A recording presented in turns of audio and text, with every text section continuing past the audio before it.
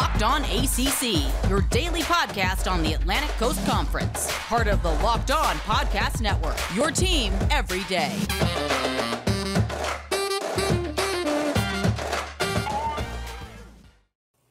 What's going on, everybody? Welcome to Tuesday's edition of Locked On ACC. I got it right this time. If you saw Friday's episode, you would see that I was on the other side of the screen and it was not my name, but we got it together, right? We had to get the first week jinx out of the way. So it is me, Candace Cooper, here with my Tuesday host, JJ Jackson. We are rocking and rolling. He is the host of Locked On Blue Devils. He loves to give you that content and respect to Duke, but he also gives great insight when it comes to all other college football stars and studs. So he is going to be here with us. And let me tell you, if you guys have not yet listened to all of my co hosts, I strongly encourage you to come back every single day. There's no better place to get all of your ACC conference news than Locked On ACC podcast, hosted by me and my crew. Follow the Locked On ACC podcast on the Odyssey app or wherever you get podcasts. JJ, I hope you had a great weekend. It was. It was a fun weekend. Another weekend of ACC football uh, has concluded, and just college football in general. We saw um, a lot of really fun matchups. I thought that top 12 matchup between Ohio State and Oregon was yeah. uh, kind of one of the bigger games in the sport. But then uh, look at the ACC, listening to what you and Kenton had to say on the Monday show. It wasn't the best of weeks for ACC programs, but uh, I'm just excited to recap all the games that we get to talk about on today's show. And and like we said, it was just great to have football back. Listen, I'm also happy with some teams who did what they were supposed to do. And We're going to talk about UNC and Dukes of the world, and like at the end of the day, do what we tell you. If, if we're supposed to win these games, you win these games. You beat the Georgia States and the A and T's of the world. You don't mix any kind of emotion there. So I'm excited to go over some great schools and some serious upsets that we have on the list. If you guys have not yet heard Monday's show, Kenton covers a certain slate, and then JJ is back here to give us a second half, and so he'll be going over Florida State, Wake Forest, Syracuse, UNC. Duke, and Virginia. So let's waste no time here. One of the biggest games of the weekend, maybe for reasons that are not like Ohio State and Oregon. Florida State loses to Jacksonville State in a very close 20 to 17 loss, and a lot of questions during the final drive, final play. It looked as if maybe somebody gave up, maybe somebody cut the wrong angle. There's so many questions, you know, with Coach Norvell. Did he call the right play? A lot of things to go over, you know, with that respect. But, you know, just initial thoughts for you when you saw the score, were you just completely like, this can't be real? It's absolutely yeah. is not, not the thing. No, for sure. Just uh, surprised like everyone yeah. else. i have mentioned this before, uh, but uh, having lived in the state of Alabama for a number of years in my life, mm. I'm very familiar with the Jackson State football program. Uh, a few years back, they had a pretty big scare uh, against the Auburn Tigers in 2015, but Auburn was able to hold on and and win that football game, even though it did go to overtime. And earlier this year, I actually was watching that week one game that Jacksonville State played. Again, being in the state of Alabama, you watch JSU play UAB, and UAB won and shut them. I mean, it was just all Blazers all the time, and Jacksonville State had absolutely nothing. So yeah. the fact that they were able to come back and beat Florida State in the fashion that they did, and now Florida State, a team that I thought was going to be much better in another year under Mike Norvell, is now 0 2. Yeah. That's disastrous. This is the worst case scenario for the Seminoles. And to lose like that on the last play of the game, a walk off touchdown in college football, that's rare. That's rare that you see that in regulation. Uh, but that was the case on Saturday. And so credit to the Gamecocks. That is a win that they will remember for the rest of their lives. Every player on that field will remember yeah. that for the rest of their lives. Yeah, and I think that Coach Norvell, like, there's you take the blame, but at the end of the day, there's so many different things to unpack here. Like, we go back to the start of the season, you try and pour into your guys, you finish every play, you do whatever you can for the team, all that good stuff. But when they get to action time, do you play down to competition? I think that's what Florida State did here. losing two at home, you started out so well. We were all high on you guys after Notre Dame. I think it speaks to now when we review Notre Dame almost losing their game this weekend.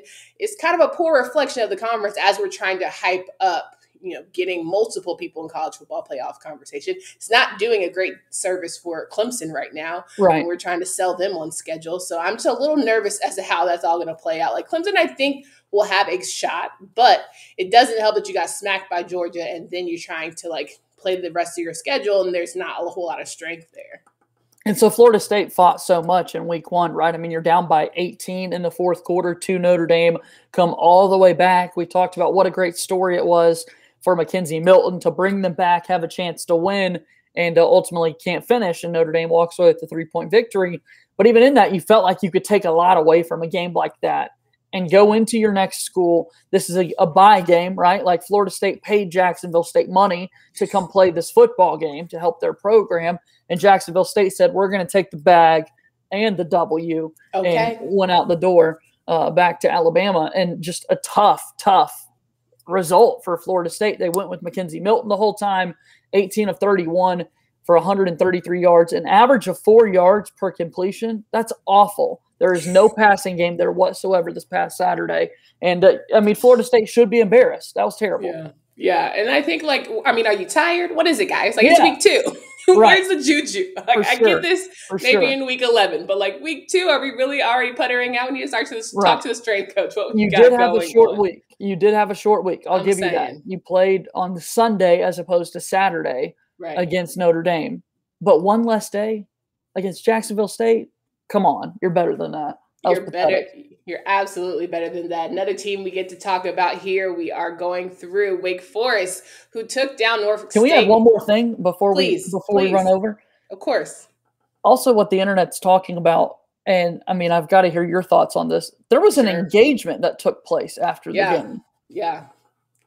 You know, okay. I'm glad you mentioned this because I was going to just let it go, let that man go be great. But here is my thought. And I read somebody's comment saying, I'm sure they thought they were going to trample on Jacksonville State, Right. right? Like we all did. Exactly. He probably invited her family. Like everyone was flying in for the game. Candace, I had the exact same thoughts. I was like, buddy, I probably know what you're going through. You just Yeah. got to do it. The whole family is to there. Uh, I've never experienced that in my life yet. One day that's going to happen, and that's going to be Yeah. awesome. Where you get so much family, friends, everybody kind of in on the engagement, and you can't just be like, "Yeah, we're not going to do this this time," you know? not feeling it. But I think that speaks more to him as a man. Like football isn't his everything, and I appreciate that because a lot of guys, you know, some who are really in the thick and the throes of their sport, they're like, "Oh, everything's based on my mood. So if I'm not in the mood, I'm not gonna propose." Or like, I'm like, "Nah, it can't be your everything." So I appreciated him for seeing it through, right? No Despite the about that. fact that. he, you know, lost a game that he knew he should have won, but the moment is that moment is way bigger than football. He'll remember that beyond. So Yeah, I mean, you're going to remember if if you win the game, you're going to remember that moment for the rest of your life, right? Exactly. It'll be your wife that you're going to, but just the fact that it comes after you lost a football in the fashion that they did because there's so much celebration. You know, it's one thing like if you just get the doors blown off and Jacksonville State's very quick to exit the field, but they weren't Candace because they won on a walk-off touchdown. And well, it was just okay, so but JJ, chaos. I'm sitting here. You saw them celebrating in the background, and my thing is like, I wonder how the proposal went. Like, hey, babe, I know we just lost a big one, you know, but you're still my everything, and I still want to make this work. Like, I, I can only imagine how he tried to like distract her. But at the end of the day, I'm sure she was so engulfed in him being on one knee, hot and sweaty. Like, ugh, that's why I always said I tell anybody this who do not want a public proposal because there's too many factors and variables that can go right or wrong. And so, no, right. like, And now the internet's me at a talking like we're it- talking about it. okay, like a whole bunch of strangers are deciding who my husband is. I'm gonna have to fight you on Twitter. Like, let's just not. Let's just, Yeah, if this was at the crib after the game, you and I would not talk about this for one split second. But no, the fact that the internet got hold of it, we had to bring it up. So, I know. man, how about that? Yeah, poor guy here. But there are guys down in Winston Salem who are really thrilled. They are they are moving the chains here. They I'm talking about Wake Forest, the Demon Deacons who took down Norfolk State. They are now 2 and 0, 2 and 0 at home and they are rolling. Sam Hartman was 17 for 25, 244 yards with one touchdown. Also saw 9 carries and 60 yards from Christian Beal Smith and Jaquarii Ro- Roberson who's having a great start to his year. I'm feeling good about Wake Forest. I think they haven't had a true challenger yet, but at the same time, you win games that you're supposed to win. And honestly, right now in the ACC, we have to like just be excited and happy for that. What are your thoughts here? No, absolutely. I mean, Norfolk State again, a buy game. You're paying the money to come to your house. You got to find a way to win. Wake Forest was favored by 43 points in Vegas in this game, Mhm. and um, obviously did not cover that spread, but still walked away with an impressive victory. I think Sam Hartman is one of the stories here. Uh, Yeah. You mentioned his stat line there, and he's just he's a quarterback that we don't bring up as often as some of his peers and counterparts in the ACC, but he's an experienced guy. And if he keeps winning football games like this, protecting the football, not turning it over, which he's done a good job of doing so far, uh, this season, then uh, I think we're going to have uh, a lot more conversations about Sam Hartman in the weeks to come. 100% agree. Now, team that we can talk about quickly here because there's not much. Rutgers faced Syracuse in a 17 7 win. Syracuse is their first loss of the season. They are now 0 and 1 at home. Tommy DeVito tried his best 15 for 26, 149 yards, did have an interception on the game. But to me, you know, Syracuse didn't look horrible right? It was bad, but they had they had an opportunity to be in the game, and we had we can't have. Mm, let me try that again. We haven't always been able to say that about Syracuse, so maybe that's my one like silver lining. Yeah, I mean, look, Candace, we we talk about the previous two opponents for ACC schools, Jacksonville State and Norfolk State. So at least it's not a state school that's not even an actual state um, at the FCS level that you're bringing yeah. into uh, play. You this is a, a Power Five versus Power Five matchup. Rutgers is definitely on the rise. Uh, with Greg. Schiano, they're in a much better place. But looking at that score, 17 to 7, right? We saw another similar game like this this past weekend that's outside of the SEC footprint, but Power 5, Power 5, Texas A&M, Colorado. The final mm-hmm. score of that game was 10 to 7. I mean, these are boring football scores. And Syracuse just had nothing to offer. Uh, quarterback yeah. less than 50% completion percentage uh, or just over 50% completion percentage yeah. uh, in DeVito and under 150 yards. I mean, that's just not great.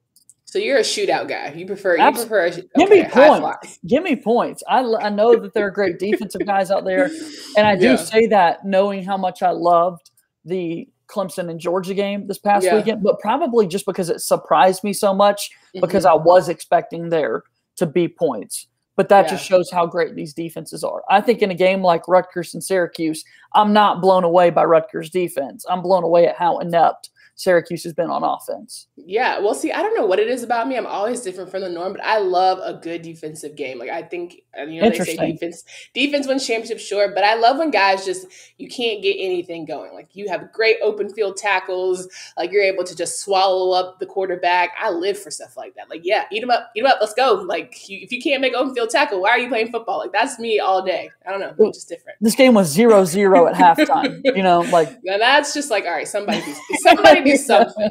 like I guess if it's if it's lopsided where somebody defensively is just going to town, but the other team is just having a high fly shootout, fine. But you know when it's both teams just sucking it up, then you're kind of like, all right, somebody right. figure it out. And this way. is a or game. Where you, this yeah. is a game where you want to watch the the highlights. Not a Syracuse guy, obviously. Nothing yeah. about this game was like appointment television where I need to watch this. But you go back and you look at the highlights in the third quarter. Dino Babers had an unsportsmanlike foul called against yeah. him, 15 yard penalty that set up Rutgers' first touchdown of yeah. the game, right? And I'm just like, that's not Dino's how not you want, helping himself. Right, right. That's not how you want your coach to be written about after the fact is uh, an unsportsmanlike penalty. No doubt. Well, all right, college football fanatics, have you heard about Prize Packs? Prize Packs is a daily fantasy made easy. I love this and I know you will too. Prize Pack offers every sport you can think of, offers more than college football props than anyone, more college football props than anyone in the world, and offers all the star players of Power 5, as well as mid major players you might not have ever heard of. All of your users that deposit and use your promo code, you receive a 100% instant deposit up to $100. You pick two to five players and an over under on their projections, and you can win up to 10 times on any entry, and it's just you versus the projected numbers. Prize picks allow mixed sports entries, right? So you can use the award winning app on both the App Store and Google Play. It's safe and offers fast withdrawals. And we know we like to get our money quickly, okay? Don't hesitate. Check out prizepicks.com or go to your App Store and download the app today. Prize Picks is a daily fantasy made easy when you're done with that and you're traveling through the rest of the college football tour, we've got a lot of games left here. We want to make sure that if you're on the road, your car is safe. So, with the ever increasing number of makes and models, it's almost impossible for your local chain auto parts store to have all the parts you need. Save time and money when using Rock Auto. Well, I choose to spend up to 30%, 50%, even 100% more for the same parts from a chain store or car dealership. Rock Auto is a family business serving do it yourselfers for over 20 years. Go explore their easy to use website today and find the solution for your auto part needs. Go to rockauto.com right now, see all the parts available for your car truck, right locked on in there. How did you hear about us box so they know we sent you? Amazing selection, reliable low prices, all the parts your car will ever need. Please visit rockauto.com. Speaking here with JJ Jackson from Locked On Blue Devils, he hosts his show every single day talking about Duke athletics. A lot of good content there. Also is an Auburn guy, so in case you need a little SEC buzz, he can plug that at the end, and you can follow him on Twitter at the bar screen below. Listen, we got a lot to go over here this coastal because we're both two coastal teams that we love to love to hate at times, but love to love most times. UNC and Duke had some great games this weekend. Let's start with the good one though. Like I think UNC was fine, but I want to talk about Duke because going coming after a Duke Charlotte game, which everyone was like, "All right, Coach Cut, it's been real, my guy. Like you know, it's time. It's the beginning of the end. Like let's wrap it up, get ready for retirement." And then he comes out, plays A and T, and it starts to get a little fuzzy at the beginning right? We're like, okay, maybe this really is the end. But then he comes out and says, you know what, my team can deliver. And that's exactly what they did. Mataeo Durant being the guy that he is, Gunnar Holmberg having a great start to his, or better start to me in his year 20 for 27 with 270 yards. I would love to hear your thoughts and takeaways and what you kind of discussed on your show. Yes, today. Right? Yeah, no Monday. doubt. I mean, look, it's, uh, it's, a Duke victory, which they did not pick up after the first week. So that yeah. in itself is a step forward from what this program was. But losing to North Carolina A&T after the first quarter 7 nothing, only leading at halftime by a score of 21 to 14. Right? It wasn't great in that first half for Duke football, but fortunately yeah. they did enough in that second half to create the separation that they needed. Look, you look at this game for Duke and first off I want to say this, ESPN and the ACC clearly think Duke must be the quality of a high school football team, Candace because we have opened up with back to back Friday night games, right? Yeah. So we're, we're just the Friday night lights. Uh, but maybe you want attention for the Blue Devils. Like I, I was feeling it. I was feeling the Duke, you know, the during night and all of that love. Like it's all about you guys. In case you lose, we just keep it. We could just That's pass fair. it along. Exactly. Like people forget about it the next day when they're watching all the football. But no, I thought I thought Gunnar was great. I thought that he uh, had another good game, took care of the football, which is the biggest thing. I mean, we talked all year long last year about the Duke football team turning the football over 39 times. And a lot of that was the interceptions and fumbles that Chase Brice had at quarterback. And Duke did not turn the football over at all on Saturday. That's the first time in quite a while that they've had a game where they were that clean on offense. And then what can we say about Mataeo Durant? I mean, the rushing yeah. yards weren't there, but my guy got into the end zone three more times yeah. on Saturday. He's now up to six rushing touchdowns on the season. Gunnar had two running touchdowns himself. Uh, I think there's a lot to like from the Duke yeah. offense uh, after a performance like that versus A&T.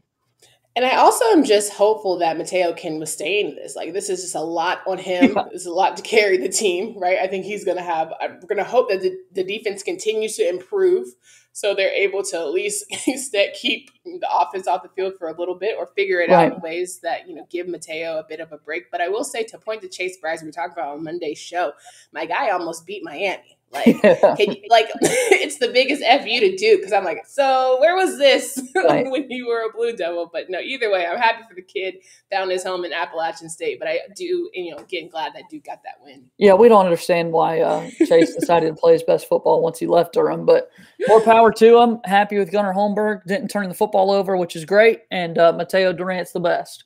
So 100% all, all around, all around good performance for Duke.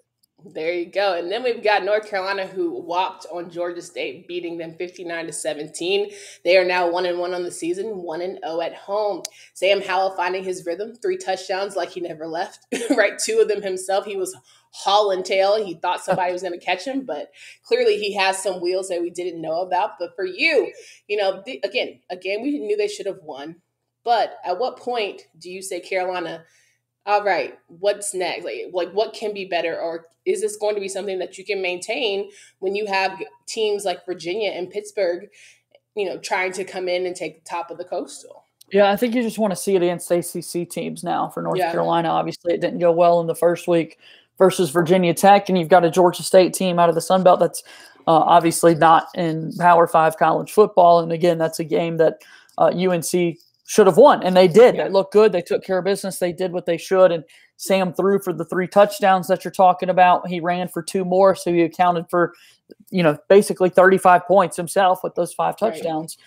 Right. Um, that he was able to put on the board, and that's why he had all the Heisman buzz going into the season was performances like that, back to himself, not throwing the interceptions like he did in that uh, first week versus Virginia Tech, way more in control and so now, if you're Carolina, how can you turn the page and move into ACC play by being that successful of an offense? And with Sam being as good as he is, you have to wonder about the running game. And I know yeah.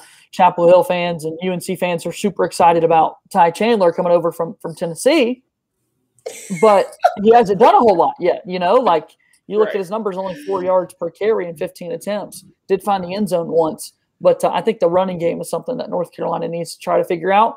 And look, they're having to replace two great guys in Michael Carter and Javonte Williams. That was going to be tough as it is. Uh, but you're absolutely seeing that there is a drop off in that running back room. Listen, between Florida State's four yards with McKenzie Milton and Ty Chandler's four yards, we do not mess with four yards on this show. we that? do not mess with four yards on this show. But no, I 100% agree. It's a lot of pressure. He's heard it all season. But also, we saw the Tennessee showing when they played against Pitt. And, you know, can we be that impressed? You know, I don't know. I'm still trying to just trying to have positives for Carolina, but at the end of the day, I can't be too impressed when I know this is what you're supposed to do. You're now at the place where these games don't impress me. I know you can do this. Can you do this against a Virginia Tech and a Virginia of the world? But ending up, you know, the conversation about our coastal teams and recapping, we'd be remiss if we did not talk about the Cavaliers, who had a great showing as well, beating Illinois 42 to 14. And Illinois clearly isn't the greatest team in the world, but Brennan Armstrong, have a day, sir. 405 yards, five touchdowns. I'm just like, okay, as much as we've been talking about Sam Howell, other quarterbacks around this league or around this conference rather are saying, ah, wait a minute, you know, pay attention over here. if I could have your a moment of your time. Armstrong was great for the Cavaliers. I mean, as you said, over five, over 400 yards and five touchdown passes, outstanding against yeah. a team like uh, Illinois uh, now coached by Brett Bielema, who's a tough nosed, hard coach. Um, great defenses typically from where he's been in Wisconsin and uh, then in the SEC with Arkansas. They're going to play you tough. And um, this is one of those Power Five and Power Five games that I was talking about a little bit earlier, but this one's a little bit more appealing because we had more offense. I mean, 42 right. uh, to 14. And um, really, it was just all Virginia once we got into that second half. Uh, but the outstanding performance from Armstrong. And you're right, along with uh, Sam Hartman, who I mentioned a little bit earlier. Uh, I think we got to give a couple of other guys outside of just Sam Howell some love at the quarterback position in the ACC. 100% agree. And there's going to be so much more to bet on through the rest of this college football season. If you have not yet, we always encourage you to go to Bet Online. It's your number one spot spot for all pro and college football action. With the new updated site and interface, even more odds, props, and contests, betonline.ag continues to be your source for everything football. Head to the website or use your mobile device to sign up today. Receive a 100% welcome bonus. That's double your initial deposit just for signing up. Don't forget to use promo code NFL100 from basketball boxing right to your favorite Vegas games. Don't wait to take advantage of all the amazing offers available for the 2021 season. Bet online, the fastest and easiest way to bet on all sports. It's your online sportsbook experts. Please use promo code locked on. So we're wrapping up the show here with JJ Jackson from Locked On Blue Devils, and we have just your initial thoughts best game of the weekend. Did you have one from the acc that you were you know impressed with or in just in general overall watching week two of college football? And this you know just some other updated news that we'll get into here in a bit. Yeah, no, I think uh, looking at the ACC games from this past weekend, it's one that we've already talked about. But again, I think if you're looking for one big story, I think it's got to be what Jacksonville State did at the end there with Florida State, a program that has traditionally been known as uh, the best of the best in terms of ACC football. And look, you're you're obviously trying to find that level of success that you had when Jimbo Fisher was the head coach, but they weren't losing games like this um, when Jimbo really had it rolling at Florida State, and uh, that was just crazy to see because I love when the best teams in a- the ACC are at their best and competing uh, across the country for spots in the likes of the college football playoff or New Year's Six bowl games, whatever it may be. And Florida State just wasn't there. So Uh, I think that's honestly got to be one of the bigger takeaways you can have in terms of an exciting game, unexpected finish, and uh, just oh my gosh, did that really happen? And yes, it did. I feel mad at myself for getting so hyped on Florida State. I built them up, and maybe I need us to stop building up teams because I yeah. built up NC State. I was like, well, hell, NC State might be the best team in the Atlantic. Let's go for it. And now here I am sitting wanting to cry. So no, I'm just kidding though. I think overall it's a great week too. I think Pitt and Tennessee was my favorite game just because good choice. You know, it's, ne- it's never expected for us to beat SEC teams, but it's always a nice touch, right? It's always a good chef's kiss. And despite Tennessee being you know a mediocre SEC team, I still think it's quality play. You say you know SEC is a little more superior than others. Well, Pittsburgh took it to town. So I'm happy with Kenny Pickett. I think that they, if there was ever a time to have a crazy coastal, here we are. And Pitt's trying to tell y'all, yeah, you thought it was Carolina, you thought it was Miami. But here we are trying to fire our way to the top as well. Brennan Armstrong saying the same thing. So it's going to be a mess per usual, but what's new, right? So there is that. In a little Atlantic Division news, we did want to update you guys on Boston College's Phil Jurkovec. He is out for the season after having a a wrist surgery. He had a wrist injury during the UMass game. Saw him tweet. Thanks to Boston College's Locked on Boston College host AJ Black for giving us that BC Bulletin News update. Showed a picture of Phil on his Instagram surgery, wrist and hand, kind of knew what time it was. And then, yeah, saw bad news from there. And it hurts me because I have been so high on Boston College and Jeff Hafley and so unfortunate news. But at the same time, I still feel like, you know, there's there's things there. There's pieces there. Zay Flowers also got hurt. I think he'll be able to return. But it does change the landscape for the Atlantic a little bit. Yeah, we're it's it's one of those things where we're just so excited for football to be back, and then just one or two weeks into the year, you realize like, man, this is a uh, a pretty aggressive sport that we enjoy watching, and things like this are going to happen. So when Jurkovec got hurt in the first half uh, for Boston College, you just hoped it it wasn't the worst. The worst case scenario being that he's done for the year. Unfortunately, it was. I know that Dennis Grosel, Grosel, I think I'm saying that properly, came in and uh, took over at that quarterback spot for Boston College. So now you've just got to turn the page. Look, if you're BC, you're still 2 and 0 on the year. You're still off to a good start. And uh, you just want to make sure with your new quarterback in place now that you can revamp the offense and turn the page and get ready to continue to compete in the ACC. I know that I was hard on Coach Hafley in our ACC rankings, which uh, AJ was not that big of a fan of. Um, basically, AJ and the entire the entire Boston College uh, nation. But uh, I talked about. Uh, I mean, I gave good reasoning. It's just the inexperience. He hadn't been a head coach that long, and now he's getting a chance to, to prove to me that, uh, yeah, you can make big time adjustments like this on the fly. And I'm excited to see how the rest of the year turns out for Boston College. Fair enough. We also have NC State Peyton Wilson and Cyrus Fagan, who are both out for the season due to injury. Peyton Wilson had shoulder surgery. He said he played with a dislocated shoulder in the last two games of last year, but like he get get 12 opportunities. I'm trying to get in there and now getting injured again, not coming back in that Mississippi State game. We all feared for the worst, but that is confirmed that those two are out. Cyrus Fagan is a transfer, so it's tough loss for NC State as well. So as much as I want to be like, no, Clemson's not going to do it, I don't feel confident that any other team right now can even come close. Yeah, I think Clemson's going to figure it out. I think it's a, a story that we've seen before. Tale as old as time. well, JJ, I thank you for coming on the show. Always, it's always you know a fun time to just get to be able to talk shop with you. Can you please remind folks of where they can find you and follow your work? Absolutely, locked on Blue Devils every single day throughout the week uh, at lo underscore Blue Devils on Twitter or wherever you get your podcasts. And uh, I'm on Twitter at underscore JJ underscore Jackson underscore redundant for the folks that are watching us with this podcast. It's right underneath my name. But if you're listening to us, that's the Twitter handle. Give me some love. Like you said, do a, a, the Duke Blue Devil show here at Locked On and uh, live out of the Auburn area. So no SEC football too. So give me a follow. I love talking college football with people. No doubt. Well, we'll have a Wednesday show tomorrow with AJ Black talking power rankings. We know they have shifted for the ACC here, and we will make sure that we guys get you geared up for Thursday with Tyler and then Freestyle Friday with Jersey Drake. For Candace Cooper and JJ Jackson, we hope you guys work great rest of your day, and until next time. Yeah. Big baller brand.